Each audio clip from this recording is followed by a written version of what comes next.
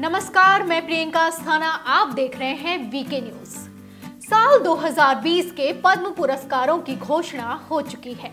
आपको बता दें कि इस साल सात हस्तियों को पद्म विभूषण 16 शख्सियतों को पद्म भूषण और 118 लोगों को पद्मश्री से नवाजा जाएगा। बता दें कि पुरस्कारों को पाने वाले लोगों ने अपने जीवन में कुछ ऐसे काम किए हैं जिसके लिए इन्हें देश का सर्वोच्च चौथे नंबर का पुरस्कार दिया जा रहा है। आज हम आपको एक ऐसे व्यक्ति की कहानी सुनाने जा रहे हैं, जिन्हें पद्मश्री सम्मान मिलने वाला है। बता दें कि पद्मश्री मिलने वाले 118 लोगों में कर्नाटक के दक्षिण कन्नड़ ज़िले के अड़सठ साल के हरिकाला हजाबा भी शामिल हैं। हरिकाला की फलों की छोटी सी दुकान है, जिससे उनकी प्रतिदिन की आमदनी केवल 150 रुपए ही हो पाती है। लेकिन उन्होंने एक ऐसा काम कर दिखाया है जिसे लाखों की कमाई करने वाले लोग भी आसानी से नहीं करते हैं।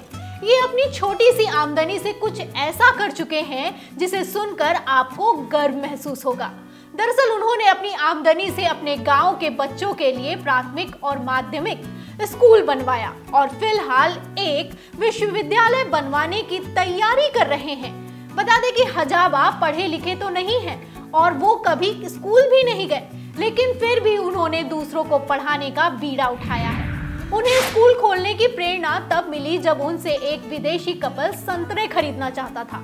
मगर स्थानीय भाषा के अलावा उन्हें कोई दूसरी भाषा नहीं आती थी, जिसके चलते उनकी बिक्री नहीं हो पाई। इस घटना से हजाबा को बेहद बुरा लगा कि अगर उन्हें भी पढ़ाई की होती तो वो भी उस भाषा को समझ जाते।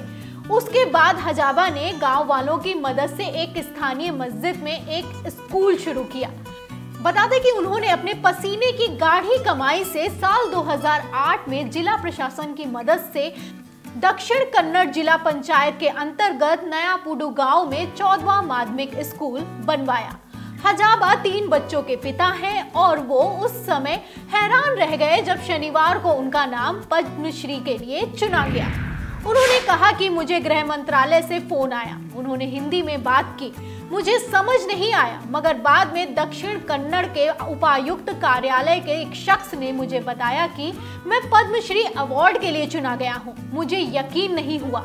मैंने ऐसा सपना नहीं देखा था, लेकिन मैं खुश हूँ।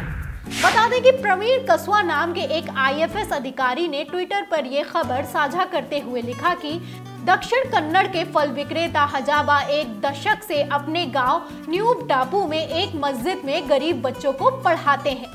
बता दें कि 2020 में हजाबा के साथ साथ बीएचयू के विवादित संस्कृत प्रोफेसर फिरोज खान के पिता रमज़ान खान को भी पद्मश्री सम्मान से नवाजा जाएगा।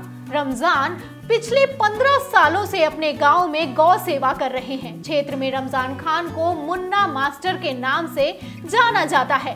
रमज़ान खान पिछले साल नवंबर में काशी हिंदू विश्वविद्यालय के संस्कृत संकाय में अपने बेटे के फिरोज खान की सहायक प्रोफेसर पद पर नियुक्ति से उपजे विवाद के चलते सुर्खियों में आए थे। और वो कृष्ण भक्ति के साथ साथ गौ सेवा को लेकर समर्पित रहते हैं, जिसके चलते उन पर काफ़ी खबरें भी बनी थी।